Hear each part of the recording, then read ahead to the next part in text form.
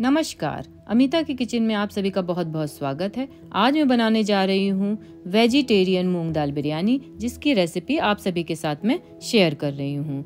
मूंग दाल बिरयानी बहुत ही स्वादिष्ट और हेल्दी होती है। चलिए इसके इंग्रेडिएंट्स फटाफट नोट कर लीजिए। क्वांटिटी आप अपने हिसाब से रखिएगा। मैं मेज़रमेंट के लिए एक कटोरी का इस्तेमाल कर रही हूँ। एक कटोरी मूंग दाल, एक कटोरी चावल लूँगी।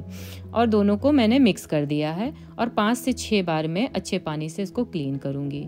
और 10 मिनट के लिए सोक करने को रख दूँगी, तब तक मैं सब्ज़ियाँ अपनी कट कर लेती हूँ। ये देखिए, मैंने अपनी सारी सब्जियों को कट कर लिया है और अब हम चलते हैं बनाने। इसके लिए मैं एक बड़ी कढ़ाई लूँगी और उसमें दो बड़े चम्मच तेल के डालूँगी।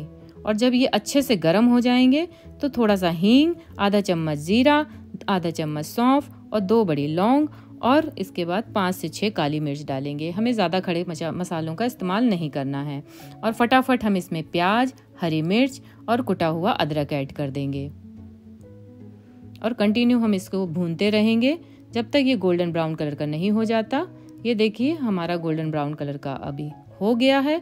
तो अब इसमें मैं पिसे हुए मसाले डालूँगी। एक चम्मच हल्दी, दो चम्मच धनिया और एक चम्मच मिर्च पाउडर, आधा चम्मच गरम मसाला और दो चम्मच बिरयानी मसाला। हम इनको ऐड कर देंगे इस पे। गैस को धीमा करेंगे जिससे हमारे मसाले जले नहीं और थोड़ा सा हम इसमें पानी भी डालेंगे। बहुत थोड़ा डालना है और चलाएँगे। अब हम इस पे दो चम्मच दही के डालेंगे। और दोनों को मिक्स करेंगे। जब ये अच्छे से मिक्स हो जाएगा तो इस पर हम टमाटर ऐड कर देंगे। टमाटर को हम पाँच मिनट तक ढक के पकाएँगे। अब ये हमारे टमाटर अच्छे से पक गए हैं तो मैं इसमें तीन चम्मच घी के ऐड करूँगी।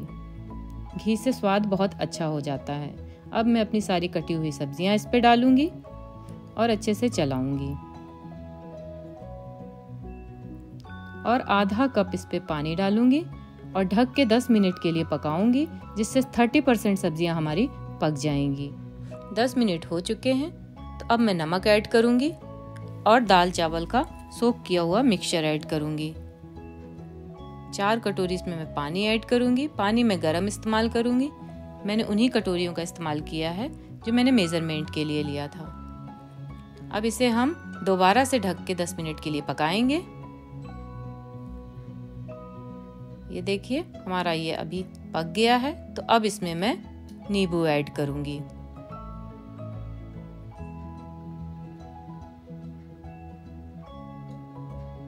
अब मैं इसे मीडियम आँच में 10 मिनट के लिए दोबारा पकाऊँगी।